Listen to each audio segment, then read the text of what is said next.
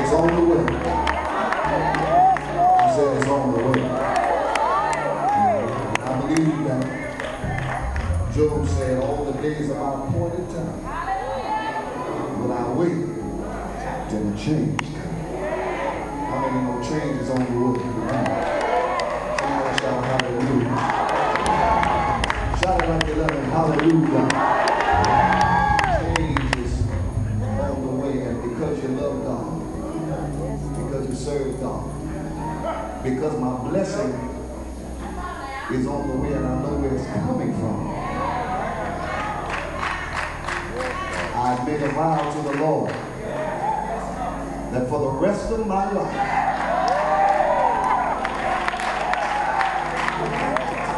not go 10 weeks and stop, but for the rest of my life. Not because it get a little tedious sometimes, but for the rest of my life,